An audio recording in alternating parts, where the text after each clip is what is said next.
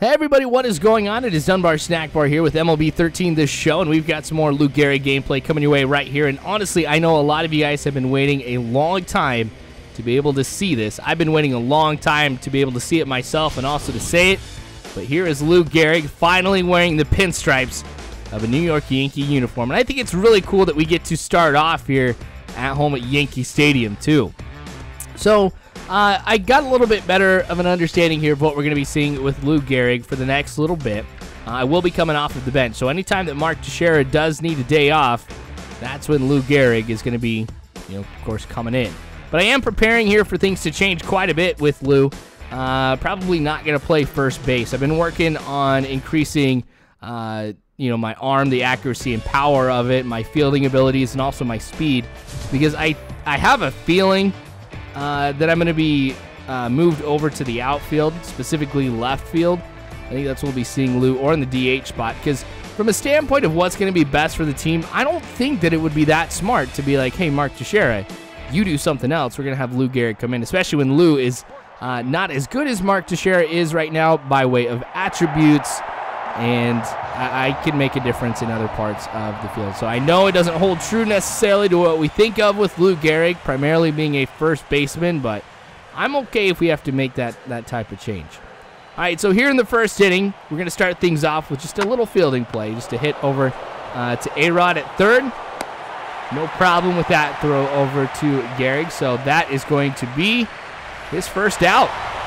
All right, so now we get to see his first at-bat of uh, his Major League Baseball career.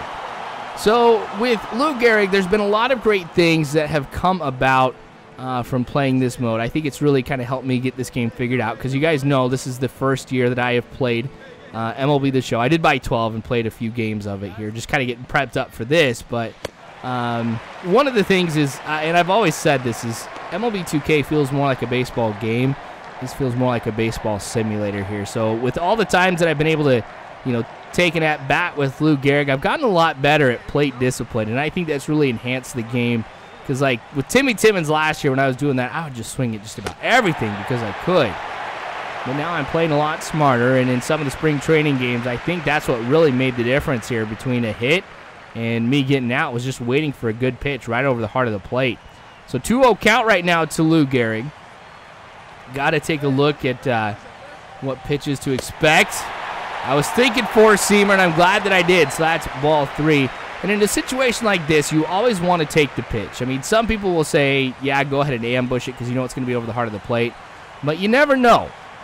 So I'm just going to go ahead and uh, take this next pitch, whatever it is. And that is going to be ball four. That's why I don't go ahead and ambush it because you could be completely off and you've just gone ahead and given the pitcher a strike rather than end up getting walked. All right, so 1-0 count, two outs. Nobody has a run quite yet. Runners on first and second. This one goes deep. Looks like it's just going to get caught. Actually, that's a home run. This might be the first time with Lou Gehrig, or actually any my player now that I think about it, probably two or three. Um, but off the top of my head, I can't think of anything where I've actually come home because somebody else hit a home run. That's kind of refreshing. All right, so 3-0 is the score right now. Uh, like I mentioned, I mean, this is something that is absolutely awesome for me to be able to do. Uh, of all the MLB players that I've ever come across, or I'm going to even take a, a higher, uh, you know, uh, thought on this here. My all-time favorite professional athlete is Lou Gehrig. Just of what he uh, means to me as a person. Because I mean, you look at his numbers, and of course, his numbers are phenomenal, especially for the period uh, of time that he played in baseball, which is completely unheard of, except for, of course, Babe Ruth. But one thing besides his career that Lou Gehrig is known for was him contracting the disease ALS, which is more commonly known as Lou Gehrig's disease. And this is a terrible, terrible disease, and, and what it does to people um, is absolutely miserable. Like, if you know who Stephen Hawking is and the condition that he is in, where he can't speak, um, he sits in a wheelchair all day, really has no uh, functions at all with his body. I mean, I just can't imagine what it would be like uh, to, to have that type of disease. And then when you think about it with Lou Gehrig, I think that in some respects, the mental aspect of being told that he had this disease and see his body deteriorate would would be a lot harder because this man went ahead and he became famous and he provided for himself and his family through the use of his body. As an athlete, that's really what you know earns the paycheck is the way that you can use your body. Um, and to slowly see that get taken away from him must be absolutely must have been absolutely horrible.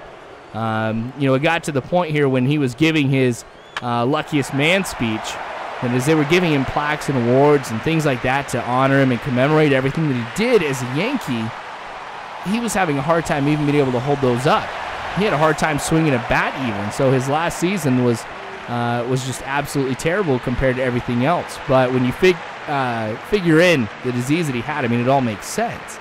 So we know people who, when something bad happens to them, they're all about like, poor me, you know, and, and kind of try and make some sob story and get people to feel sorry for him. But I think that with what was going on with Lou Gehrig, it would be very easy, and I think in some respects it would be acceptable for him to get up in front of everybody and talk about just how horrible it was for him and, and what he's going through right now and, and try to get support from everybody. But he didn't do that.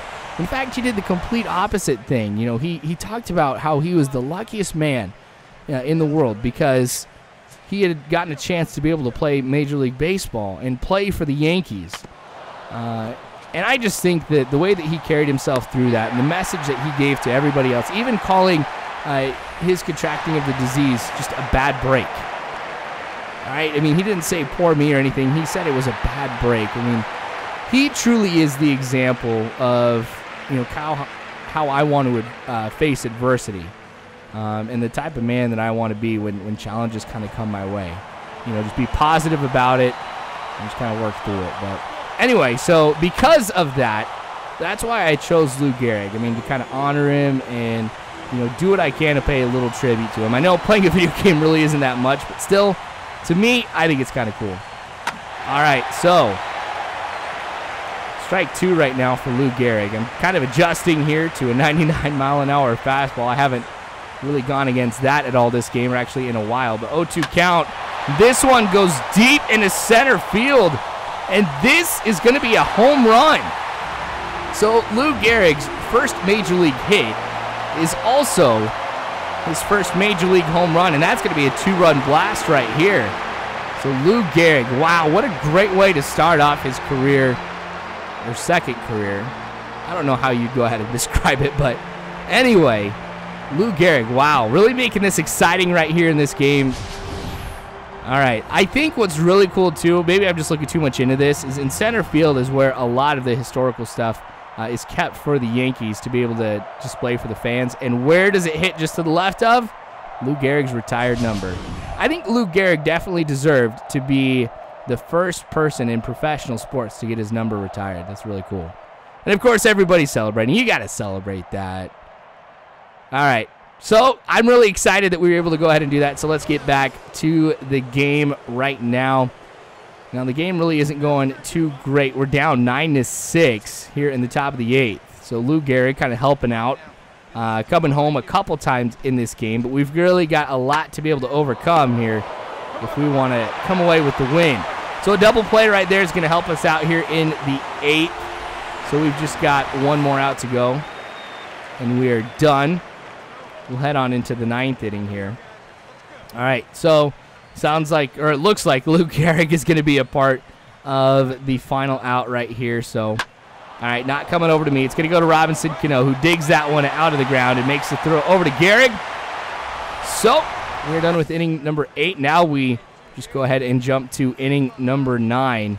So still nine to six. We weren't to get, or we weren't able to get anything going here in the bottom of the eighth. Two-two count here with two outs. Off-speed pitch coming. And uh, I'm not going to try and charge it. Robinson Cano again with another great play over there at second. All right. So here we are in the bottom of the ninth. Lou Gehrig comes up to the plate. Honestly, I don't think that there's too much that Lou's going to be able to do.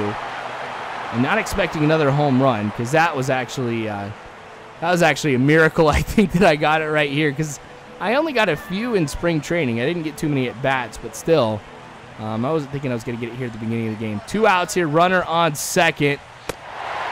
Ball one, way too low. Glad I laid off that one here because if I wasn't working on plate discipline and, and kind of getting a lot better at that, if I had swung, there's a very strong chance it just would have been a topper that went right back to the pitcher or just stayed in the infield, and really nothing would have happened right there. So that one goes deep in the left center here.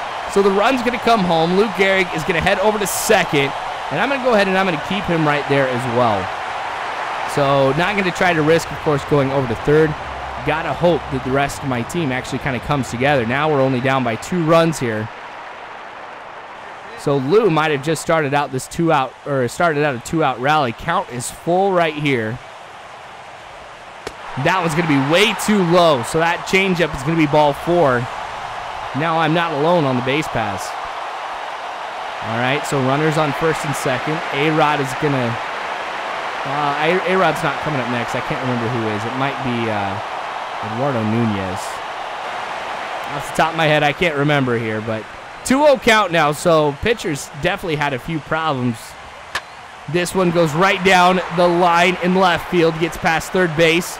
So Lou Gehrig's going to come home, and now we've got runners on second and third here. So a good hit could end up winning the game, and A-Rod now comes up next here. And he is able to get that hit. So Lou Gehrig started off that two-out rally for us here. We end up winning the game. So a great, great performance for Lou Gehrig in his first major league game. Goes two for four. Also got the walk, a home run, and a double too. So all around, I love this. Eduardo Nunez gets player of the game despite the great performance by Lou Gehrig. Anyway, thanks for watching. Hopefully you guys enjoyed this. We're going to be seeing a lot more Lou Gehrig in that New York Yankee uniform. So this is going to be very, very great to be able to play, and hopefully it'll be great for you to watch as well. So subscribe if you haven't already. You can follow me on Facebook, Twitter, all that great jazz. All you got to do is check the description below. But you are phenomenal people, you guys. Do not ever forget that. And as always, I hope you have a good one.